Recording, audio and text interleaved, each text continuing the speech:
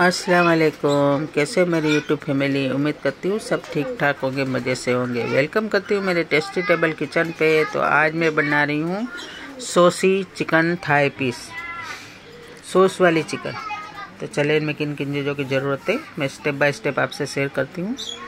तो चले, ये थाई पीस है, एक मैंने लिया है। इसे मैंने एक चम्मच जिंजर गार्लिक पेस्ट ऐड किया, स्वाद अनुसार नमक। और अच्छी तरह से इसे मैं मस लूँगी, अच्छी तरह से मलूँगी इसके ऊपर। और इसे मैं 10 मिनट के लिए रेस दूँगी। अच्छी तरह से इसे मसल मसल के, ताकि अंदर तक मसाला चला जाए हमारा, नमक और मसाला। और इसे मैं ढक कर रख दूँगी 10 मिनट के लिए।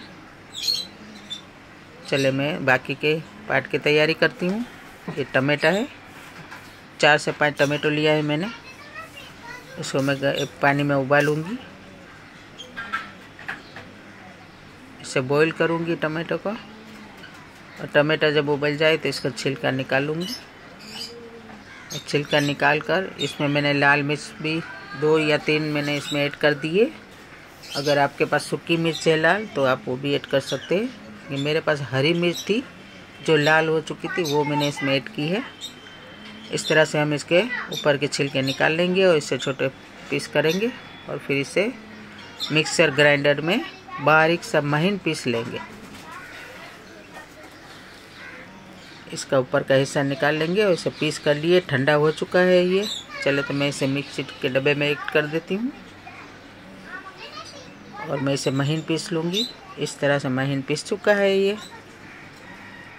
चले एक पतीला लेती हूँ मैं।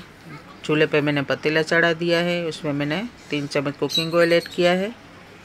इसमें बारीक कद्दूकस किया हुआ लहसुन और बारीक कटी हुई हाफ़ प्याज मैंने ऐड की है। इस तरह से मैंने बारीक प्याज और लहसुन ऐड कर दिया है और इसे मैं हल्का सा सोते करूँगी। हल्का सा सोटे करेंगे हम, ज़्यादा ब्राउन नहीं करेंगे। जब लहसुन और प्याज हल्का सा सोटे हो जाए तो इसमें मैं पिसा हुआ अदरक लहसुन ऐड कर दूँगी। इससे भी मैं हल्का सा सोटे करूँगी। इसमें लाल मिर्च एक टीस्पून लाल मिर्च पाउडर ऐड करूँगी एक टीस्पून में गरम मसाला ऐड करूँगी। स्वाद अनुसार नमक नमक हम कम डालेंगे क्योंकि मेरीमेट में भी नमक ऐड किया है मैंने। रेसिपी आपको कैसी लगती है? अच्छी लगती हो तो मेरे चैनल को सब्सक्राइब ज़रूर कीजिए। मेरे टेस्टेबल फ़ूड को मेरे रेसिपी को लाइक कीजिए। अपने दोस्तों में शेयर कीजिए, मुझे फीडबैक दीजिए। मेरे घर की रेसिपी है, जो मैं घर में बनाती हूँ, वही मैं रेसिपी आपसे शेयर कर रही हूँ। अगर रेसिपी अच्छी लगे तो मुझे ज़रूर फीडबैक दे। चलिए, मेरे टेस्टी टेबल बनाई है तो जल्दी जल्दी से सब्सक्राइब कर दीजिए। इस तरह से मसाले को अच्छी तरह से भूनेंगे।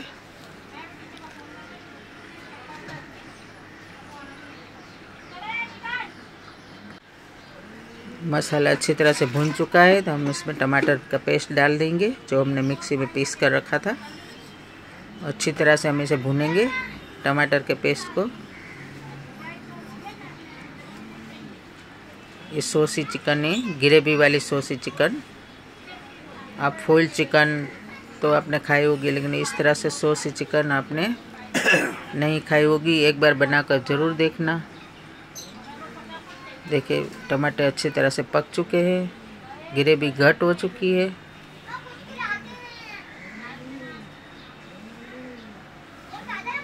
चलो तो मैं इसमें चिकन ऐड कर देती हूँ। जो मेरीमेट करके रखा था, मैंने चिकन ऐड कर दिया है इसमें।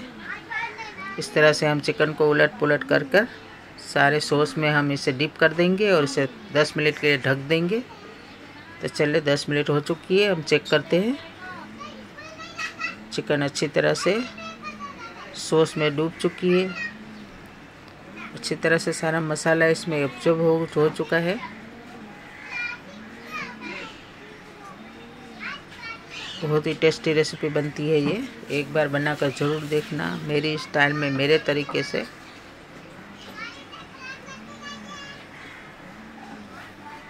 देखिए कितनी अच्छी लग रही है ये, बहुत ही खूबसूरत लग रही है। आप इसमें फ़ूड कलर ऐड कर सकते हैं अगर आपको ऐड करना है तो नहीं तो स्किप कीजिए, क्योंकि फ़ूड कलर से अच्छे अच्छा रेड कलर लग रहा है। चले चिकन हमारी बनकर तैयार है। हमने सर्व कर दिया एक प्लेटिंग में। तो रेसिपी अच्छी लगे तो लाइक सब्सक्राइब शेयर ज़रूर करना, मुझे फीडबैक देना। अपने दोस्तों में शेयर करना, अपने घर वालों को बनाकर खिलाना। फिर मिलूँगी एक नई रेसिपी लेकर। जब तक के लिए अल्लाह हाफिज़।